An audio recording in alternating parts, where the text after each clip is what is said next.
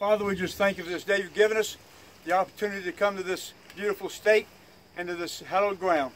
I just pray this today as we open this program that you just bless everything that we say and do. In your son's name we pray. Amen. Amen.